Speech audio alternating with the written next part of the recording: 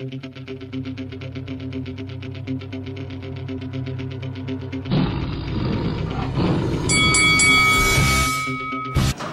this is Eddie Hearn, and you're watching Lights Out.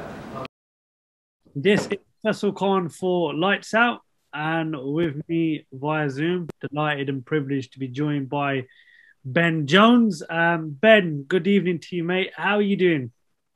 Yeah, I'm good, thanks, mate. Yourself? I'm very well. Thank you for asking. Thank you for asking. Um, obviously, just start off the news that broke to us uh, yesterday afternoon. Uh, you'll be returning to the ring. Um, in a few weeks' time, uh, 24th of July. Uh, firstly, it's been a it's, it's been a long time coming since uh, the, the, announcement of your return. But just how excited are you to finally be getting back into the ring? Um, I couldn't put I couldn't put it. I didn't think I would actually be this excited because at the start of my break or my long time off, I didn't really like boxing, and I like I fell out of love of it, and I never thought I'd get this this the spark back sort of thing. So now, like how how excited I am, I couldn't put it into words because I, if you knew me back when I f- was fighting two years ago, three years ago, I loved it. I was buzzing off the walls. Like I know fight night is what I lived for.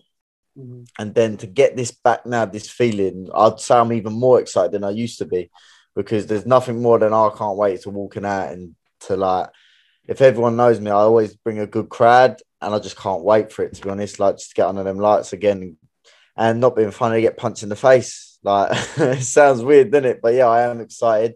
It has been a long time coming. I've never met a fighter that's admitted he's excited to be getting punched in the face, but fair play to you, um, Do you know what? It's not the fact that oh yeah, I'll sit there and take lick, uh, take it getting punched and that, but it's a different feeling. Like I don't like, oh yeah, right, I can hit you back now. I'm not gonna get arrested. no, it's just it's a weird feeling. Uh, every fight I admit, like, oh, I miss getting punched in the, I miss getting punched in the face.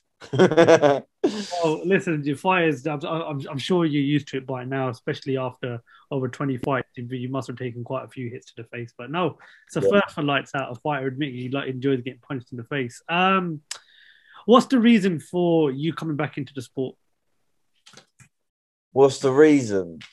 I must say, I've got, I've got six or seven reasons that pushed me into to getting back into the ring. I never officially retired for one, and I never like officially said I was going to finish.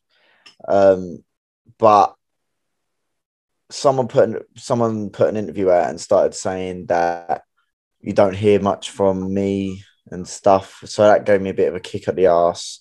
And then for about my my son's coming up to three now, and he's obsessed with watching me on the on the TV, like YouTube my fight. So him watching me clapping it, clapping and that, and cheering and stuff, he gets really excited. So that's pushed me. And then I was driving one day, and Mick one of my trainers messaged uh, messaged me saying, "Oh, I've got a fighter. Would you help help him out with some rounds and that?" And I said, "Yeah, all right, give, uh, like next week or something." And I rang up my missus. I said, "Oh, I might get back into the gym. Might go back into the ring." she went, oh, "It's always tomorrow, though, isn't it? You always talk shit." And I was, I took it personal. I was like, "Nah, nah." So I rang up Mick and I was like, "Mick, I'm coming to the gym." And then from that, from that day, I've just been in the gym, con- uh, like not every day. Like I've been con- consecutive, consistent, consistent. Sorry, I'm not very good with my words. I'm very. I've been consistent with it, and then I got the message from Ben Davison to come help spar um, Josh Taylor, and then that just excelled me. Like I was buzzing from it. Like uh, I was only in the gym for probably a week and a week and a half. Didn't even spar, and then sparring him I was just like, uh, they gave me the opportunity and I'd done seven rounds coming off the sofa and I was buzzing from it. I was like, fucking, I've got to give it one more crack. Do you know what I mean? Like, get get fighting again because I'm doing seven seven rounds with a then is it uh two world title champion now unified champion from doing seven rounds of him and then it come a consistent like every week twice a week I was sparring with him I've done, I've done over 50 rounds of him do you know what I mean? And after that, I was I must be I must got got some more to give in this sport. and then yeah, from there I got talking to my manager, my trainers and stuff, and then yeah, this finally this date got come up, and I said, yeah, get me on it. It's local to me. I actually train in the gym where it's going to be, and I said, get me on it. It's a small show. I thrive for small shows. I love small shows because I always bring a big crowd, and I'm really excited for it. So I thought, yes, I'm coming back to it, and then finally it got confirmed, and then yeah, here we are. What's different to you now than two years ago? That that's a good question. and I'm going, that's a good. What's different to me now is, and it sounds deep, right? I'm not going deep, but I've grown over life. So I've had so many life lessons in the space of two, three years. Three years, I'd say it started when I lost to Craig Evans. That's when it, all the stuff started happening and personal issues.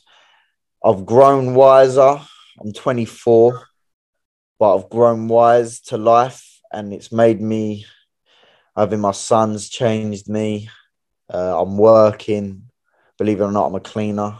Um, uh, money situations and loads of life lessons have made me wise and more smarter at certain things. I'm picking up on little things, and now I'm actually enjoying watching boxing. And I was in the gym today.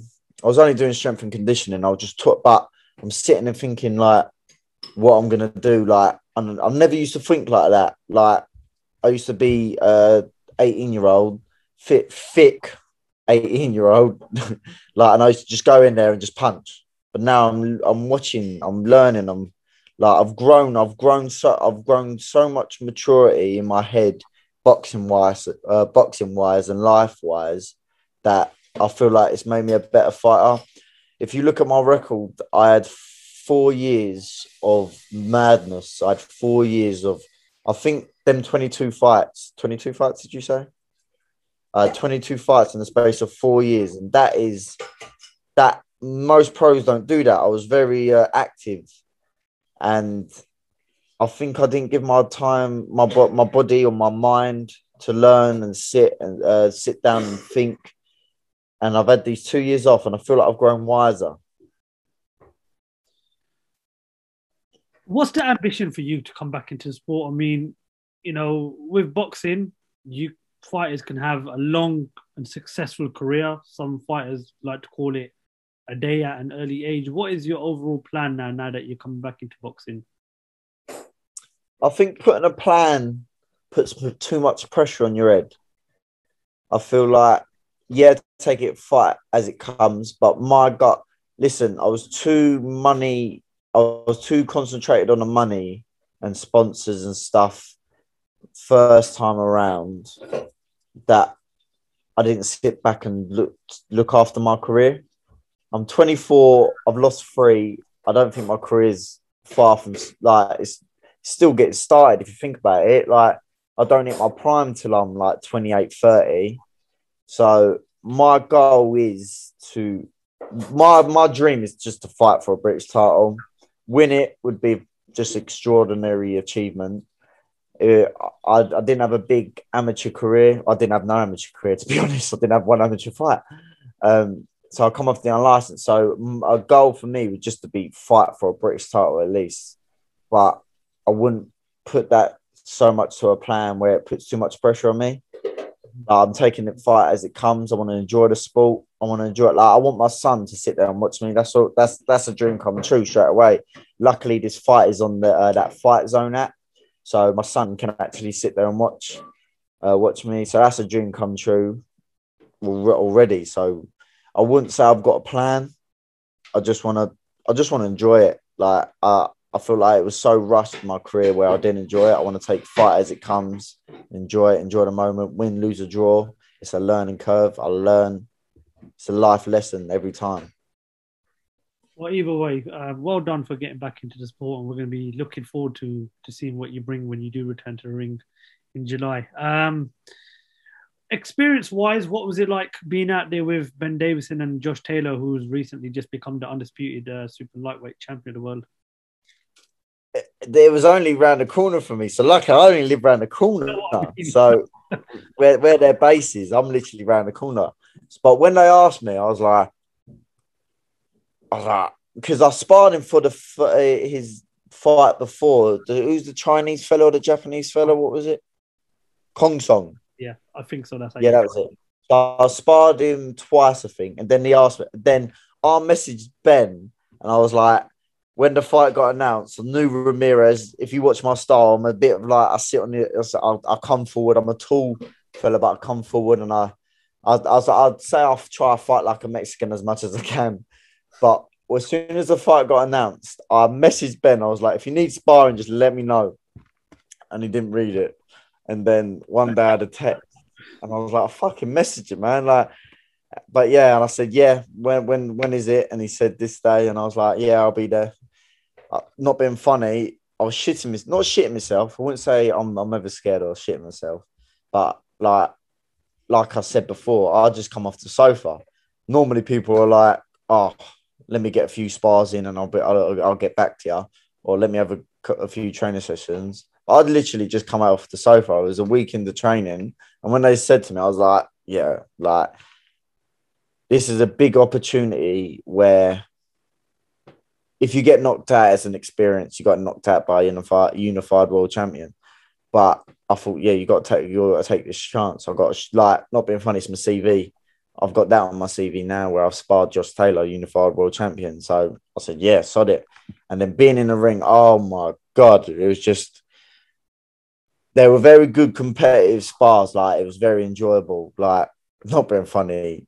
Sometimes he was playing with me. Like, do you know what I mean? Like he's no mug, Josh and it's just I couldn't. I wouldn't. I, I would say he, where I weren't really into boxing, watching it, he won a fan in me. Like sparring him, I was just enjoying it every time. I learned it like every t- every spar I would say I learned. He'd do something. The next sparring session, I'd copy him, and like, and then he was complimenting me, saying, "Ben, you're getting better every time." Like, like a few of his compliments like meant a lot to me. Like things he was saying to me and that. So that I was just buzzing off that anyway, that coming from him. So that was just an experience in itself. Like he's by far the best person I've ever sparred. Well, you get back into the ring, you're gonna be fighting on Fight Zone, and you've had the honor of fighting a undisputed super lightweight champion. Of times are looking, times have been really good for you, and hopefully a, a few good uh, wins as well. And get you right right back up into that British British title. Yeah, I ain't got that much of a bad record where I think of two, three, or four wins, and I could be knocking on like big title doors. You know what I mean? Well, fingers crossed. Um, but listen, Ben, obviously, um, honestly, um, all the best of luck with the the comeback. We're going to be keeping a close eye on it, and uh, hopefully, we'll get to speak to you soon. Thank you very much for your time. Thank you. I really appreciate that. No problem. Ben Jones, honor and a privilege to finally speak to you. And we can I quickly can I just quickly say, can I have a big shout out to uh, Arctic Electricals and Essex Heating because without them, I wouldn't even be paying for my medical. So big shout out to them for supporting me and sponsoring me for that. So appreciate that, boys. No problem. Well said. Always good to remember your sponsors. Ben Jones, look after yourself, buddy. Good speaking to you, and hopefully we'll catch up. Thank you, sir. Thank you very much. Bye, mate. Bye